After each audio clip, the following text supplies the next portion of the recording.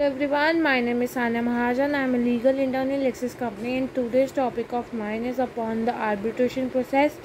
and where the arbitration is a concern is a, it is a contract based form of binding dispute resolution. In other words, a party right to, to refer a dispute to arbitration depends upon the existence of an agreement arbitration agreement between them and the other parties to the dispute that the dispute uh, may be referred to arbitration and where the in, in, entering into an arbitration agreement the parties agrees to refer their dispute to a neutral tribunal to decide their right and obligations and although sometimes described as a form of arbitrative dispute resolution and arbitration is not the same as mediation or conciliation.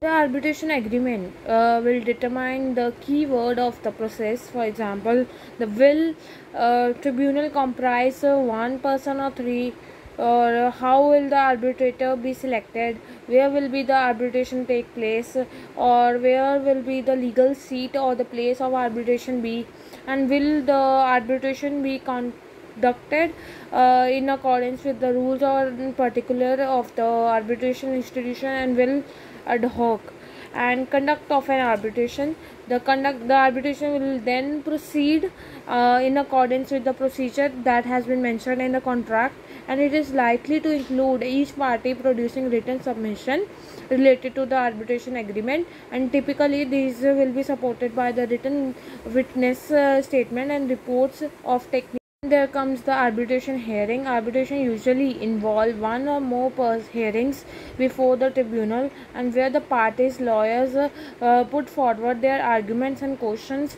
and the other parties witnesses and experts. And hearing can last from half a day to many weeks or even month depending upon the issue of the at the stake then the award is concerned the after hearing the tribunal will provide produce its award and this will set out the decision and it has reached on the issues between the parties and unless the award is uh, challenged in uh, and it is determined the rights and the obligation of the parties. And then after there is a process of appealing the award the ground on which an award can be challenged or appealed vary depending upon the factors such as the terms of arbitration agreement and arbitral seat and the institutional rules. However, if the tribunal uh, has not conducted itself properly and has answered the question and it uh, should not have answered and in some cases uh, made an error in law or a party can go to the court to ask for the award to set aside and sent back to the tribunal to make the decision properly. And then the, there is a step of enforcement. One of the main, main attraction of the arbitration is that award can typically be enforced in most countries worldwide without a re-hearing of the issues and after following the relative short process. The rel uh, of the enforcement vary depending upon such factors that is the jurisdiction in which enforcement is likely to be concerned and the status of the party against whom whether uh, it is possible to take steps uh,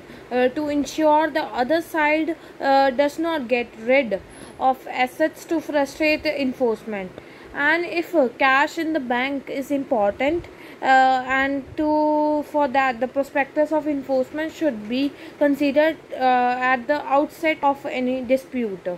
And this was all about the arbitration process and thus if you need any information related to it? Please do write in the comment section and please do subscribe this channel lexis